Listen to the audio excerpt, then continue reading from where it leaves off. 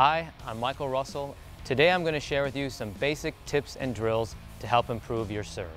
We're all striving to have a better serve. So let's talk about the ball toss. The ball toss is the foundation to a good, consistent serve. I'm going to share with you three basic tips which can help you learn and master the correct ball toss and you'll be well on your way to having a consistent serve.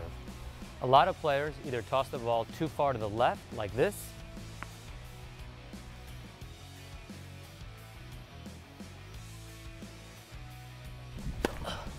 or they toss the ball too far to the right, like this.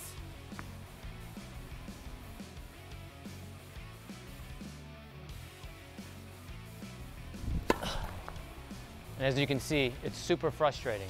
We miss our first serves or we even double fault. As you can see, this player, when he's tossing, his arm is bent. This doesn't allow him to have a consistent ball toss. The result is that his body's all over the place and he's not able to get out into the court and up into the ball. The first tip to a consistent ball toss is hold the ball on your fingertips.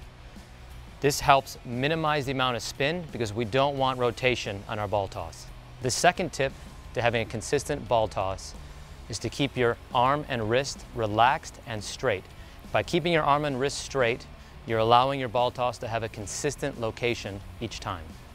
The third tip to having a consistent ball toss is to make sure that when you release the ball, your palm is open. This allows you to place the toss up in the air instead of just throwing it up in the air. Palm open is the key to placing the toss. Now that I've showed you the correct technique for mastering the toss, I got a great drill so you can practice at home. So a great drill is to place a tennis ball can lid about a foot in front of you and practice tossing the ball with your arm straight, holding the ball in your fingertips and palm out, just as you would a normal serve. You're gonna toss the ball up, but you're not gonna hit it. You're gonna see how many times you can hit the tennis ball lid down in front of you.